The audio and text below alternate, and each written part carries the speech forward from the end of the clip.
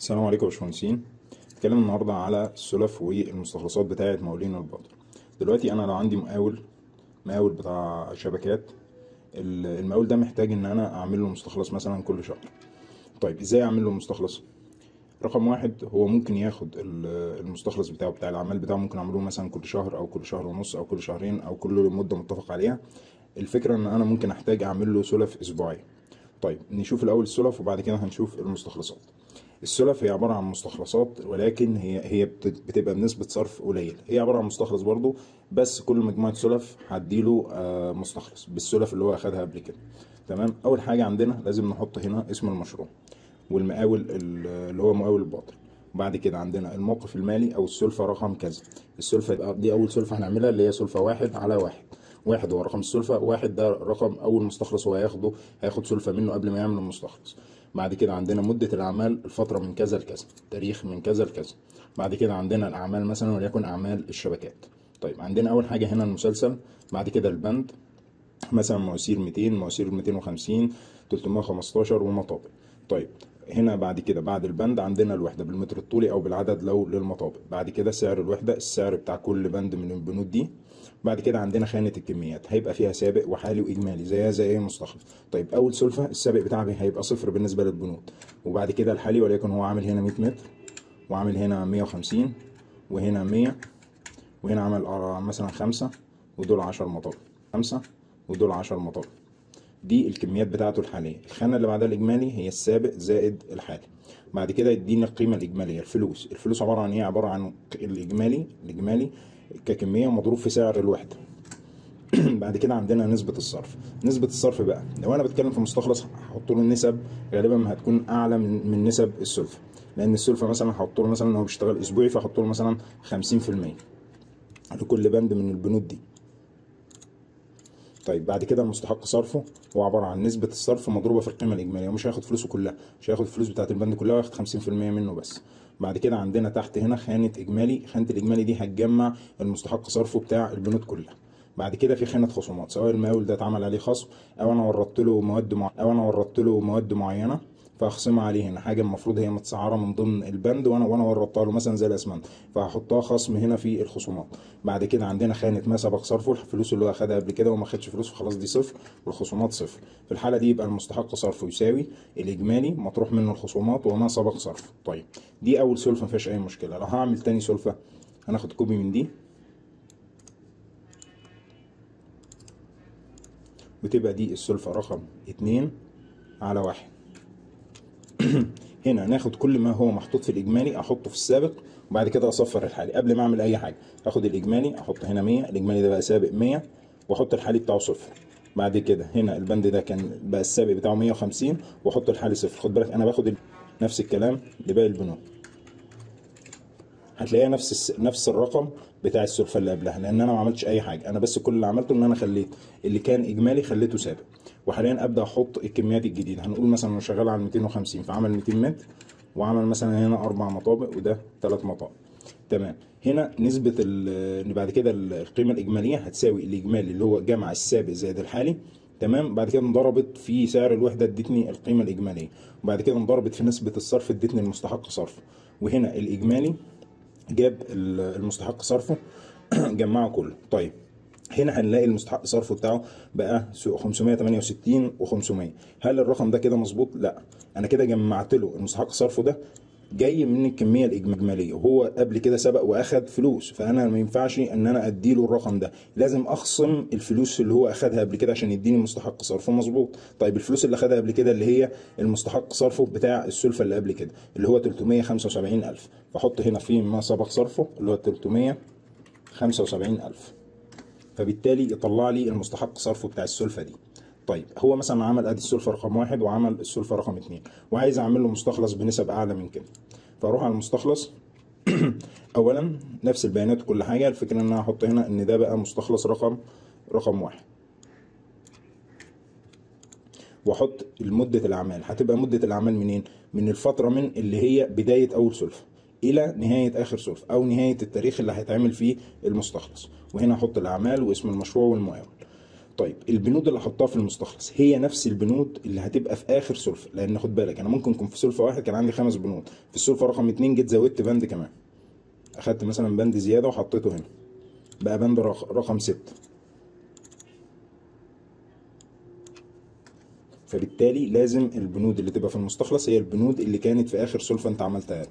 طيب أدي البنود وأدي الوحدة وادي سعر الوحدة. طيب الكميات هو ده أول مستخلص يبقى السعر بتاعه كله صفر.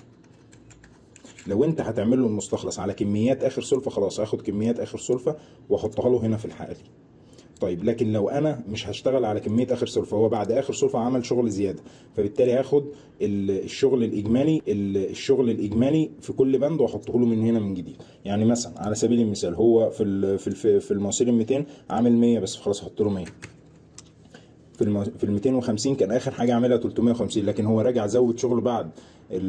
بعد السلفة الأخيرة مثلا 50 متر خلاص أحط له 400 وهكذا الباقي البنود. طب مثلا دي 100 ده 5 ده مثلا 15 طيب نسب الصرف أحط له نسب الصرف بتاعته قد إيه؟ مثلا أنا شغال إن أنا هديله في الفرعات مثلا 85 نسبة صرف وفي المطابع هديله 80 طيب نفس الكلام القيمة الإجمالية هي عبارة عن الإجمالي مضروب في سعر الوحده وبالنسبة لمستحق صرفه هو القيمة الإجمالية للفلوس مضروبة في نسبة الصرف. طيب طلع له 991000 ده الفلوس الإجمالية بتاعته كلها طلعت هنا 991000 هيصرف منهم الفلوس اللي هم 991000 مخصوم منهم اللي أخدوا في السلف قبل كده. فبالتالي أنا هحتاج ملخص يجمع لي السلف. أو أروح على آخر سلفة هلاقي إن هو استحق صرف 304000 واخد السلفة اللي قبلها اللي هو 375000 أجمع ده واجمع الرقم ده يديني اللي أخده. أو هنا في شيت الملخص أقول مثلا ده السلفة واحد على اتنين واحد على واحد واتنين على واحد وأروح هناك عند السلف وأحط المستحق صرف. فبالتالي هيديني هنا. ادي السلفه رقم واحد كان مستحق صرفه كذا والسلفه رقم اتنين كان مستحق صرفه قد كذا. وبعد كده اجمع دول يديني كل الفلوس اللي هو اخدها من السلف السابقة لغاية ال- المستخلص. فيطلع الرقم 679000 فاروح احطه هنا فيما سبق صرفه 679 هنا فيما سبق صرفه 679000 فيديني المستحق صرفه تمام لل- للمستخلص ده. طيب أنا جيت زودت بعد كده هبدأ أعمل مستخلص جديد. طيب المستخلص الجديد ده ممكن أشتغل على نفس المستخلص القديم وأزود له بنود لو هو هيزود بنود جديدة هزود البنود وأشتغل على الكميات وأخد الكميات الإجمالي دي الأول أحطها سابق وأحط الحالي بصفر وبعد كده أرجع أزود الحالي أحط الكميات الجديدة اللي عندي.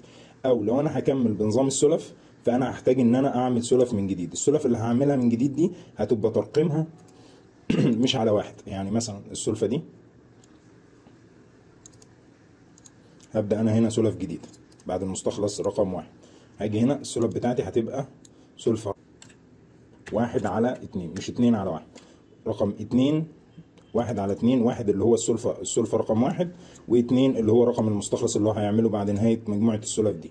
والبنود دي كلها هشيل هشيل الكميات بتاعتها. خلاص لأنها اتسجلت عندي في مستخلص رقم واحد. فاجي هنا في السلفة الجديدة وأبدأ أوقع أعمل زي ما عملت في السلف الثانية طيب في هنا لما أجي عند ما سبق صرفه مش هحط له حاجة لأن أنا هشغل السلف دي زي ما عملت في السلف الأولانية هشغلها لوحدها. وبعد كده بعد ما أجي عند أجي أعمل له مستخلص رقم اثنين هاخد آخر سلفة وليكن هي السلفة دي دي آخر سلفة بعد مستخلص واحد هاخد الكميات بتاعتها وأزودها على المستخلص رقم واحد. وهحط هنا في ما سبق صرفه هيبقى اللي أخده في مستخلص واحد زائد إجمالي اللي أخده في في السلف اللي هي اتعملت جديدة مش السلف الأولانية. يعني عندي السلفة واحد على واحد واثنين على واحد خلصنا منه بعد كده عندي مجموعة سلف تانية اللي هي واحد على اثنين واثنين على اثنين مجموعة السلف دي السلف الجديدة دي اللي هي عبارة عن ال- السلف اللي هو أخدها بعد كده بعد مستخلص واحد. اللي هي واحد على اثنين واتنين على اتنين. مثلا دي كانت بخمسين ألف ودي بأربعين ألف. مجموع السلفتين دول الفلوس اللي أخدها في السلفتين بعد المستخلص رقم واحد هاخدهم واجمعهم على ما استحق صرفه في المستخلص رقم واحد واحطهم في مستخلص اتنين يبقى ده كل الفلوس اللي هو أخدها آه، بقت ما سبق صرف تمام؟ طيب لو أنا مش شغال بنظام السلف أشتغل مستخلصات بس هيبقى عندي ده مستخلص رقم واحد. أحط له فيه البنود بتاعته له الكميات وهيبقى السابق صفر. والحالي هي الكمية الموجودة عندنا واحط له نسبة الصرف بتاعت كل بند وبعد كده هجمع الفلوس وفي مستخلص واحد مش هيبقى صرف حاجة قبل كده وأحط له خصومات مثلا كان عليه 120000 خصومات. طيب لما أجي أعمل مستخلص اتنين هاخد كوبي من مستخلص واحد وأحط له الكميات دي الكميات الحالية دي هحطها له سابقه وأمسك الكميات الحالية دي هخليها كلها صفر. بعد بعد ما احطها صفر هحط الكميات الجديدة. وليكن عندي في الكمية دي 50 وفي الكمية دي 4 طيب أنا كده ال- المستحق صرفه ده الأول الاجمالي القيمة الإجمالية بعد الضرب في نسبة الصرف. ودي الخصومات. ولكن الخصومات بتاعتي زاد عن 120000 زاد عليها 40000 كمان. فخلاص بقى 160000 طيب ما سبق صرفه اللي هو مين؟ اللي هو مستخلص واحد. أحطه له هنا. ده ما سبق صرفه في مستخلص واحد. يبقى ده المستحق صرفه في مستخلص اتنين. طيب في مستخلص تلاتة هيبقى ما سبق صرفه. هو ال- المستحق صرفه في مستخلص اتنين وفي مستخلص واحد وهكذا لغاية ما أعمل له المستخلص الختامي بتاعه. وبرضه لازم يبقى عندي ملخصات عامل فيه أعمل ملخصات لأرقام السلف وملخصات لأرقام المستخلصات والمستحق صرفه بتاع كل سلفة وكل وكل مستخلص شكرا والسلام عليكم.